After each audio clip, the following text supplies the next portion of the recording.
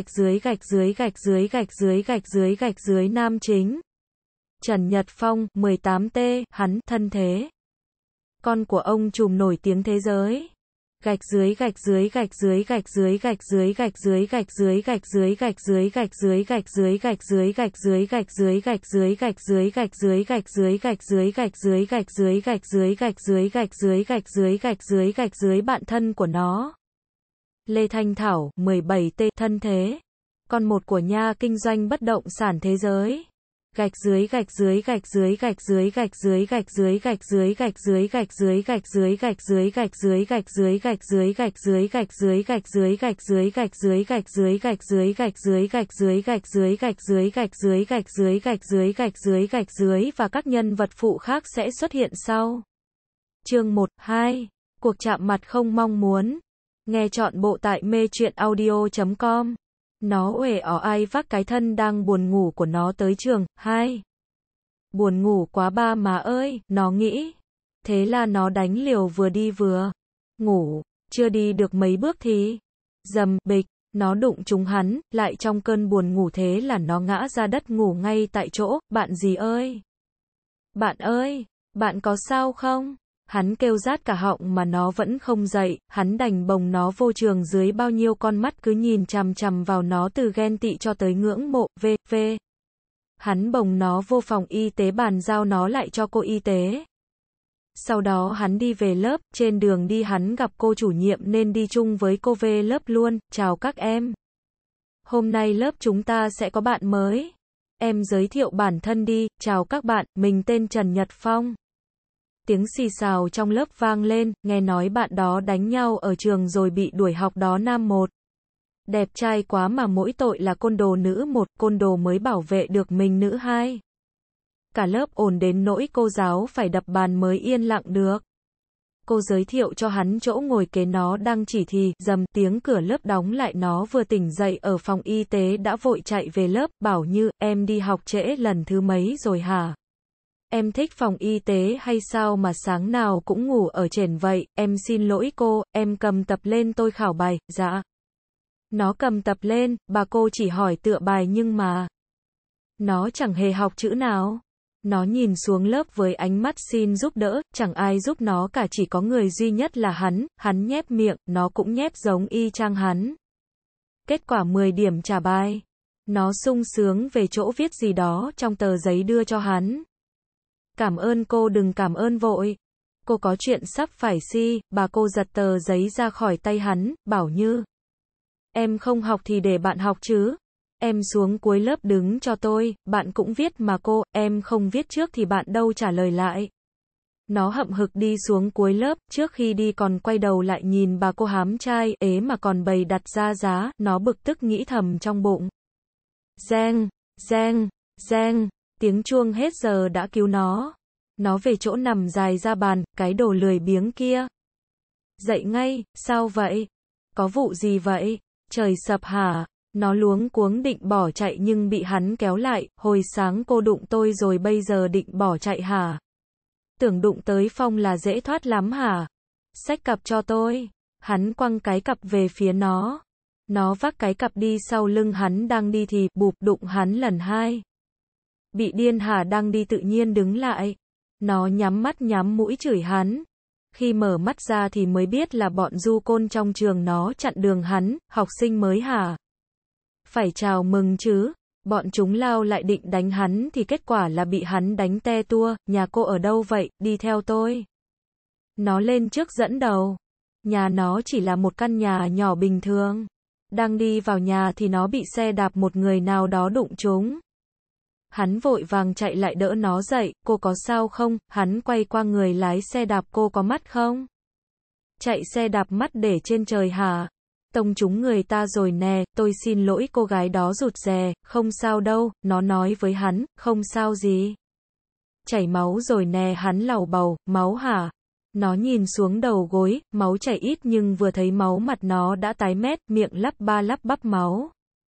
Máu kia, máu, nó rụt vào người hắn. Nhìn biểu hiện của nó khi đó hắn đã đủ biết nó sợ máu. Vẫn tiếp tục lắp bắp tay nó ôm đầu như nhớ ra cái gì đó kinh hoàng lắm nhưng nó không nhớ được. Hắn bồng nó vào nhà, trước khi đi vẫn kịp liếc người đụng chúng nó. Khi hắn đi khuất, cô ta nhoẻn miệng cười, đẹp trai thật. Được rồi anh phải là của tôi. Cô ta đứng lên, đỡ chiếc xe đạp dậy, tiếp tục chạy. Trong nhà nó, hắn đang băng bó cho nó, nó cũng đã đỡ sợ hơn. Có chuyện gì xảy ra sao? Sao cô lại sợ máu? Tôi chẳng nhớ chỉ nhớ là khi tôi thấy máu thì hình ảnh người đàn bà đầy máu ôm một đứa trẻ còn bên cạnh là người đàn ông nằm bất động trên người cũng đầy máu. Cả gia đình đó chết chỉ có mỗi đứa bé là còn sống. Hắn im lặng không nói gì, nhìn xung quanh nhà, chẳng thấy gì đặc biệt cả chỉ mỗi cái bàn thờ là làm hắn dùng mình, tôi về đây. Biến đi cho khuất mắt tôi. Cả hai người họ đâu biết rằng có một sợi dây vô hình đã gắn kết họ. Chương 2. Bạn trai tôi là Trần Nhật Phong. Nghe chọn bộ tại mê truyện audio.com. Sáng hôm sau, nó lê bước phác khuôn mặt buồn ngủ ra ngoài, bụp đụng lần ba. Nó mở to mắt ra, lại là hắn, nó hét ầm ĩ lên, anh bị điên hả? Đi đừng mắt mũi để đâu vậy, cô mới là người để mắt mũi ở chỗ khác đó. Nếu cô muốn trễ học thì cứ vô nằm tiếp đi. Còn nếu đi học bây giờ thì sách cặp cho tôi, hắn trả lời lạnh ngắt, mắc gì tôi phải sách cho anh, sách cặp, hắn vừa nói vừa quăng cái cặp cho nó, tại sao tôi lại phải sách cặp cho anh? Tại cô làm tôi đau, hắn nhoẻn miệng cười đều, đồ đáng ghét, nó lầm bầm trong miệng, tôi nghe hết đấy. Nó lẽo đẽo sách cái cặp đi phía sau hắn. Lâu lâu hắn lại quay ra sau nhìn nó, nó thì chẳng hề hay biết và cũng như thường lệ nó vừa đi vừa ngủ, heo. Cô ăn gì chưa? Hắn lên tiếng phá tan bầu không khí căng thẳng, chưa, nó nhăn nhó. Nó vừa dứt lời hắn đã lôi nó vào một quán ăn gần đó, cô ăn gì, cơm. Hắn gọi cơm cho nó, quay lại bàn ngồi thì thấy nó ngủ mất. Có thời gian ngắm cô ta rồi, hắn vui vẻ nghĩ. Hắn nhìn thật kỹ gương mặt đang ngủ say của nó, trông khác hẳn với các nàng hay vây quanh hắn. Gương mặt của nó không son phấn hay mỹ phẩm, đẹp một cách tự nhiên. Dễ thương thật, hắn cười. Đúng lúc đó người phục vụ mang thức ăn tới, vừa ngửi thấy mùi thức ăn nó đã tỉnh dậy ngay, nó ăn ngấu nghiến, vẻ mặt để lộ rõ sự vui vẻ hẳn lên, cô ăn no chưa, rồi, ăn no rồi thì trả tiền đi. Hả, tôi không có tiền, không có tiền sao ăn nhiều vậy? Máu điên dồn lên não, nó hâm hực đi lại chỗ hắn, đạp cho hắn một cái rõ đau vào chân rồi đi lại chỗ tính tiền. Nó vui vẻ tính tiền, lúc ra khỏi quán, nó quay qua nói với hắn, trả bóp cho anh nè. Nó quăng qua hắn, sao cô lấy được, tại sao không được, nó quay lại nhìn hắn nở một nụ cười gian xảo. Hắn nhìn nó không nói gì, thú vị thật. Hắn chạy lại chỗ nó, vừa chạy vừa nói, chờ tôi nữa. Tại trường học như, nó quay mặt về chỗ phát ra giọng nói, tươi cười đáp lại, chào Huy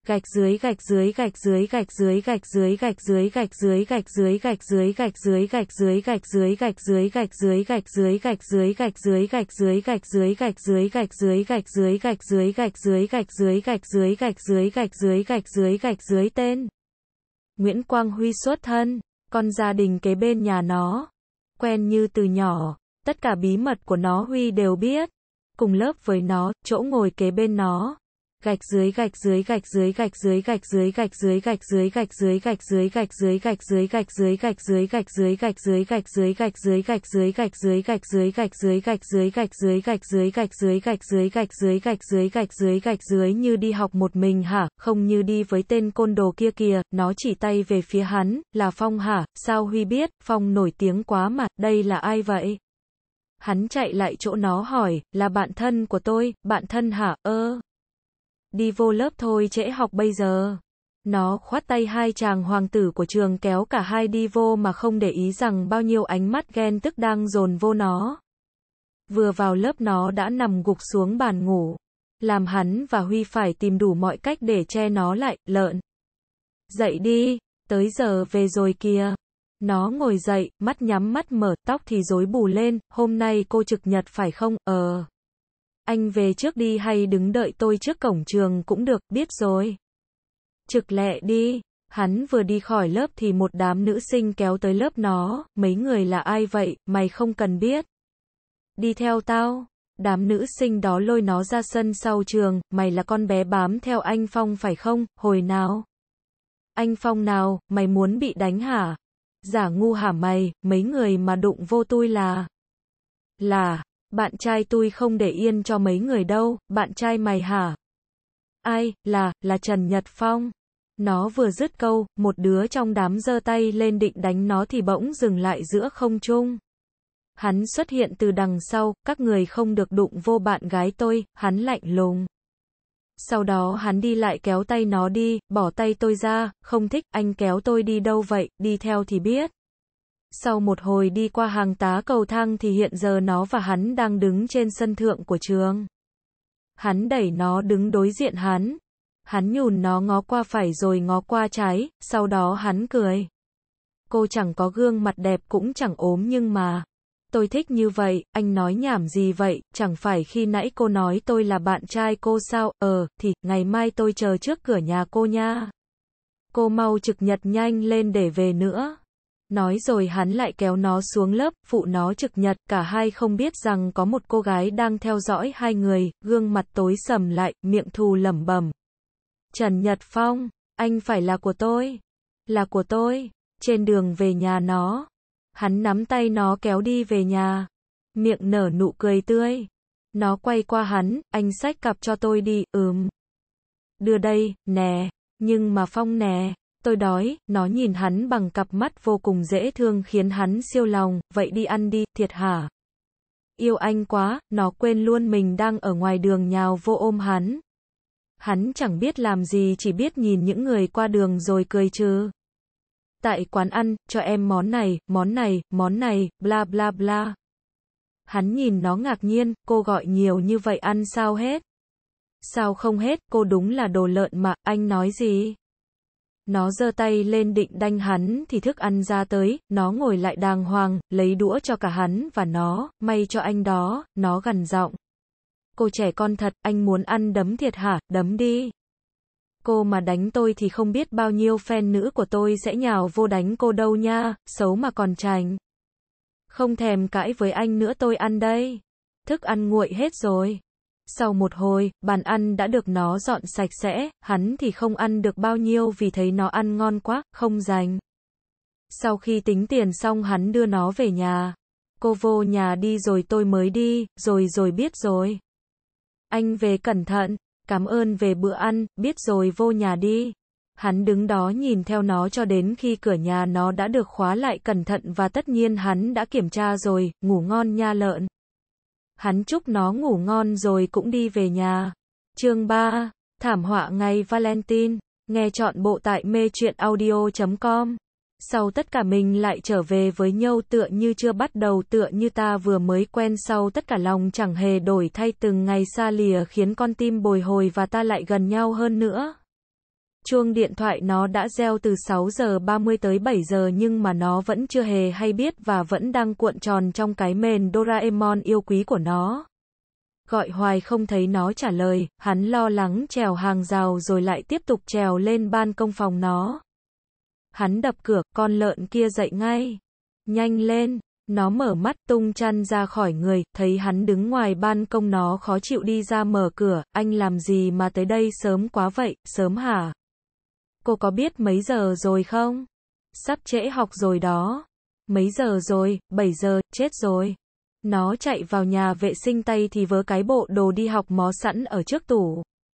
Tới cửa nhà vệ sinh, nó quay đầu lại, anh soạn cặp dùm tôi nha, ờ, cô đi thay đồ đi.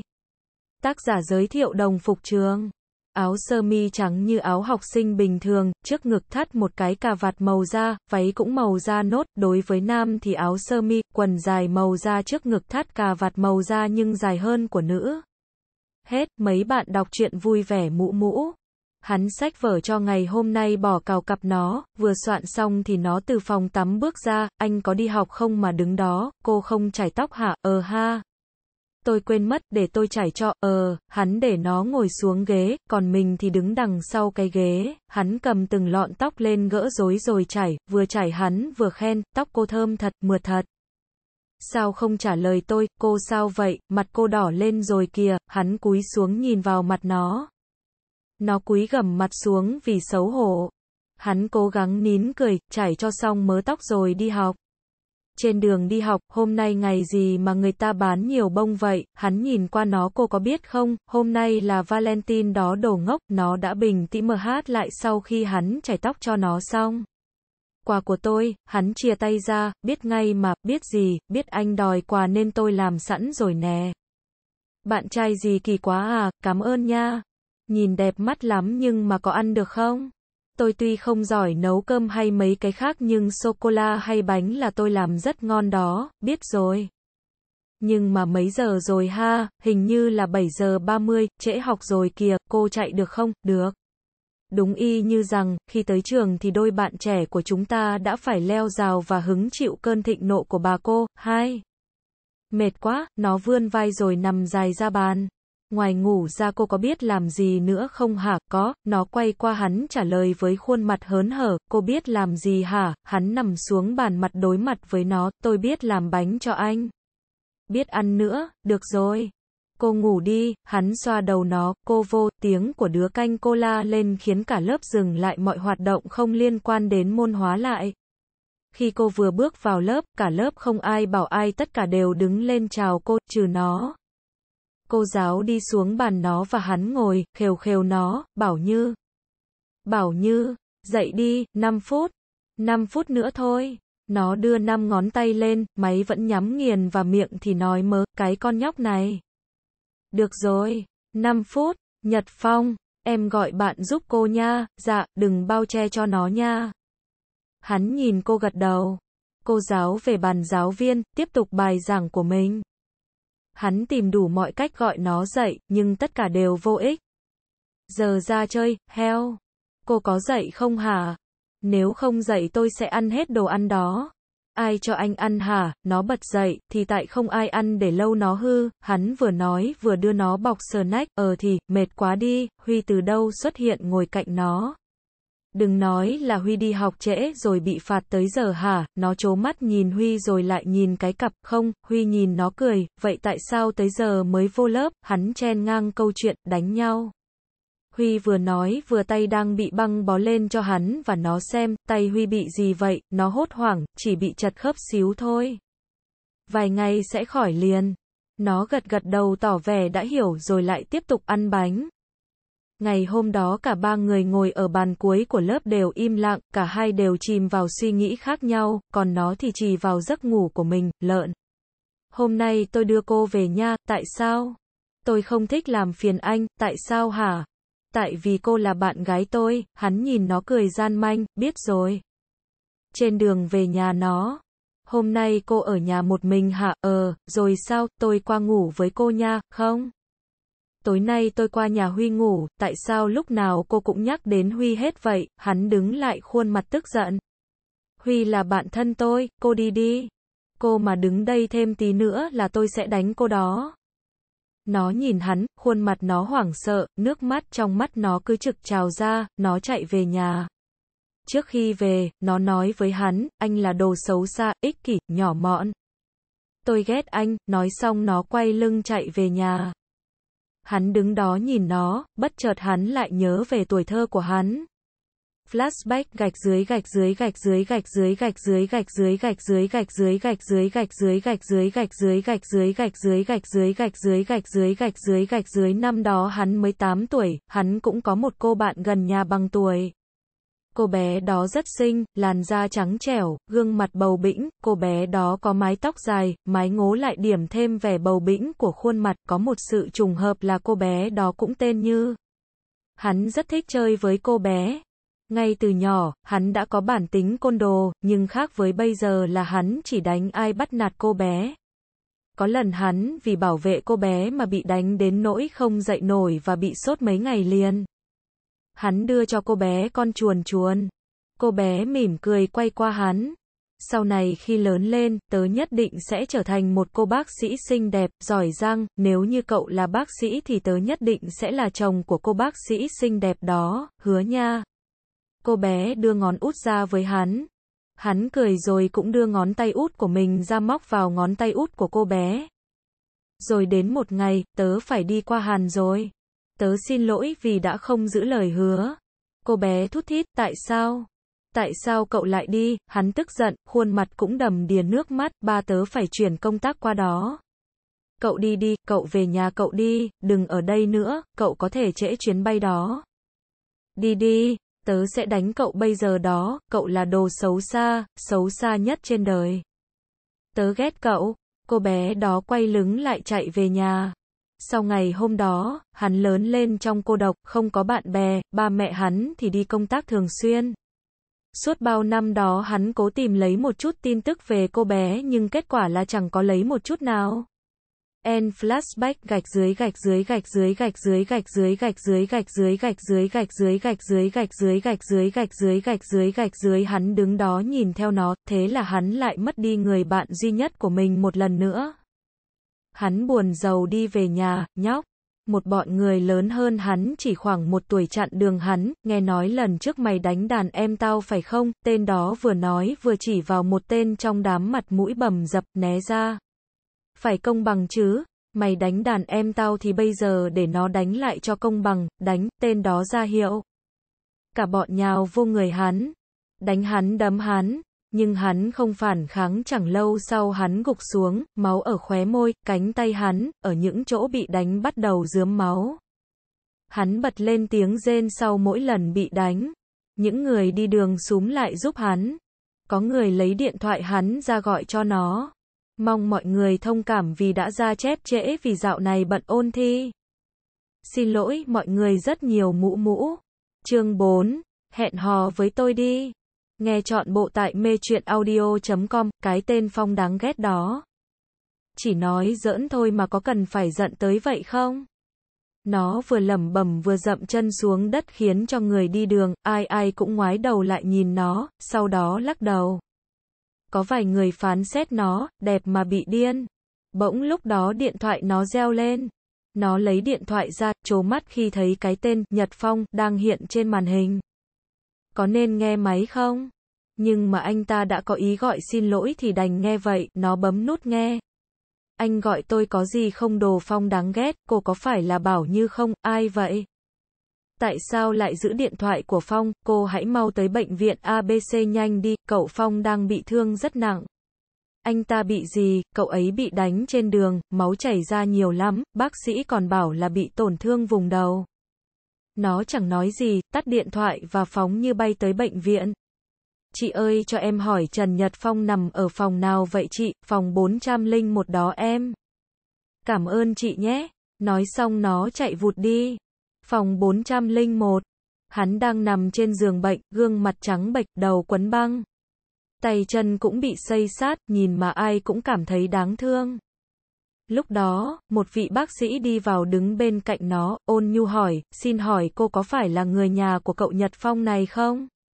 Tôi là bạn gái anh ấy, nó bất giác thốt ra anh ấy có sao không ạ, hiện giờ cậu ấy đã an toàn nhưng cần phải chăm sóc và giữ tâm lý cậu ấy ổn định. Đừng để cậu ấy gặp cú sốc nào quá lớn. Có thể trong khoảng thời gian sắp tới tâm lý của cậu ấy sẽ hơi hoảng loạn, cảm ơn bác sĩ. Bác sĩ gật đầu rồi đi, nó chạy lại bên cạnh hắn, nắm tay hắn lên xem vết thương rồi lại khẽ chạm vào vết thương trên mặt hắn. Nhìn thấy hắn như vậy lòng nó đau lắm. Sau hai tiếng, hắn mở mắt ra, thoáng nhíu mày vì ánh sáng quá chói. Cảm thấy tay mình nặng nặng hắn nhìn xuống mới phát hiện là nó đang nằm lên tay hắn. Hắn lay lay vai nó, bảo như, dậy đi, bảo như, nó mở mắt ra, rụi rụi đôi mắt, nó nhìn hắn khó chịu, anh tỉnh rồi thì cũng phải để cho người khác ngủ chứ, cô tới đây làm gì? Chẳng phải giờ này cô nên ngủ với Huy chứ, tôi chỉ giỡn thôi mà. Anh làm gì giận dai vậy? Có khi nào tại vì giận tôi nên anh mới đi đánh nhau rồi để cho người ta đánh bầm dập vậy hả? Cô nghĩ ai đánh tôi được? Chẳng qua là tôi không thèm đánh tụi nó thôi. Vậy là anh ghen hả, ghen về chuyện gì, hắn đỏ mặt ghen với Huy đó. Có đúng không, phải. Tôi ghen đó. Thì sao, tôi chỉ giỡn thôi mà sao ghê vậy? Mà anh cũng có phải hét lên như vậy không? Cái tên đáng ghét này, nó giận dỗi quay mặt chỗ khác, bảo như. Bảo như, quay lại đây nè. Bảo như, hắn khều khều nó, chuyện gì? Nó quay mặt lại và trợn tròn mắt khi nhận ra được rằng hắn đang hôn nó. Một giây, hai giây, ba giây. Nó ngồi im, trong lòng rối bời, trong đầu nó lúc này chẳng nghĩ ra gì cả, nó cứ ngồi im như vậy cho đến khi hắn đẩy nó ra hỏi, cô hẹn hò với tôi nhé, cô ngại hả? Cô phải trả lời câu hỏi của tôi chứ? Nó gật nhẹ đầu, gương mặt đỏ bừng lên. Nó đứng lên định đi về thì hắn kéo tay nó lại, ngủ ở đây với tôi đi, cũng được nhưng mà anh phải để tôi tắm đã chứ. Được rồi, để tôi kêu người của tôi mang đồ và thức ăn cho cô, ừm. Nó ngồi xuống bên cạnh hắn nhưng hắn lại kéo nó lên giường của hắn nằm, còn hắn thì nằm nép sang một bên. Vì chờ lâu mà không thấy ai đưa đồ tới, nó thiêu thiêu rút vào lòng hắn ngủ ngon lành, thật là đáng yêu mà. Hắn bất giác thốt lên. Ôm chặt nó vào lòng hắn cũng thiêu thiêu ngủ theo. Một lúc sau người của hắn đưa đồ tới thì thấy cả hai đã ngủ say nên chẳng dám đánh thức, họ chỉ biết nhìn cả hai rồi cười chứ. 6 giờ 30 sáng hôm sau, nó ngồi dậy làm hắn cũng tỉnh theo. Sao hôm nay cô dậy sớm vậy, ở đây tôi ngủ không quen. Đúng lúc đó vị bác sĩ ngày hôm qua gặp nó bước vào, hôm nay cậu có thể xuất viện được rồi. Vừa dứt câu vị bác sĩ ấy quay lưng lại đi rất nhanh, có lẽ bác sĩ bận lắm nhỉ, nó lên tiếng hỏi hắn, cô nghĩ học 7 năm đại học thì khi ra trường công việc sẽ nhàm lắm hả? Cô mau đi tắm đi rồi tới tôi tắm, biết rồi. Nhưng mà anh lại định ngủ nữa hả, tôi không phải là cô. Nó cười với hắn một cái rồi chạy vào nhà vệ sinh, mình đã tìm được cậu, rồi bảo như. Hắn nở nụ cười hạnh phúc nụ cười mà suốt 9 năm qua hắn chưa hề dùng tới. 30 phút sau, anh mau đi tắm đi, nó bước ra khỏi phòng tắm, cái đầu ướt nhẹp cùng với cái khăn trên đầu. Anh nhớ lột mấy miếng băng cá nhân ra nha. Hồi tắm xong tôi băng lại cho, ừm. Nó ngồi trên giường vừa check in Facebook. Nó hết đi like dạo rồi lại đăng một status mà chỉ sau 5 giây tất cả đều dừng mọi hoạt động để tập trung vào status của nó. Trần Nhật Phong đã ngỏ lời hẹn hò với Bảo Như rồi nè mấy bạn.